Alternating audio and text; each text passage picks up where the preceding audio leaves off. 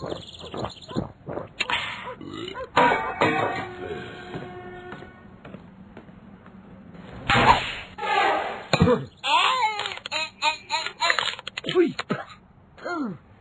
Fui. Ja, så...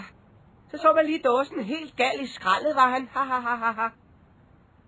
Hvor fedt tror du måske selv, det er at blive kastet i skraldespanden, når man ikke engang er skrald?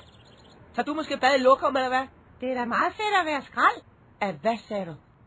Du bliver da i det mindste smidt i skralderen. Jeg ligger bare her og... og... Ja, hvad er det lige, jeg laver?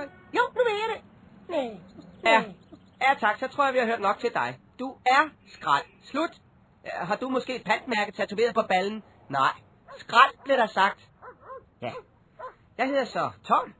Helt tom. altså, ja, jeg er en dåse, ikke? Og dealen med mig er ligesom, at jeg er født fuld, så er der nogen, der drikker mig, og så skal jeg tilbage, hvor jeg kom fra, så jeg kan blive fuld igen. Ikke godt? Ja, det er jo ligesom logik for dåsardiner, ikke? Det, det går meget hurtigt, det der. Altså, var det tom, fuld, tom, eller, fuld, tom, fuld? Ja.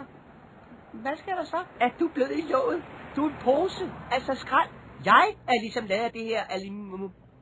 Amalinin. Al ja, det der metal, ikke? Ah Gud, hej, hvor er det hyggeligt. Ej, min stregkode er totalt ridset. Din hvad for noget?